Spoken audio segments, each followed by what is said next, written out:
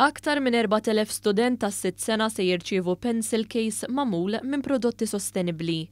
Dan ser ikun qed jitqassam fi skejjel madwar Malta u Għawdex, inklużi dawk pubbliċi, privati u tal-Knisja.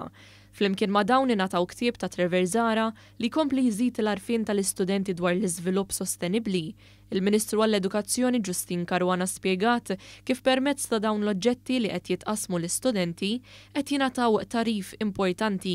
Tajniehom dan il-ktejjeb, tajniehom ukoll riżorsi f'pencil pocket li huma magħmulin minn materjal reċiklat biex appuntu ngħallmuhom fuq dawn il-kunċetti importanti ta' żvilupp sostenibbli, reċiklaġġ u kif għandna ma ngħarmux anzi nerġgħu nutilizzaw materjal li minflok narmuh inkunu qed nagħmluhom f'affarijiet li nistgħu nużaw fil-ħajja tagħna ta' kuljum u b'hekk inkunu qed nagħmlu differenza. Il-Ministru għas-Sostenibilità Miriam Dalli spjegat kif il-kunċett ta' sostenibilità, li tant jidher ikkumplikat għat-tfal, qed ikun simplifikat b'suċċess. Nixtiequ li ngħallmu lit-tfal tagħna dwar x'ifisser żvilupp sostenibbli.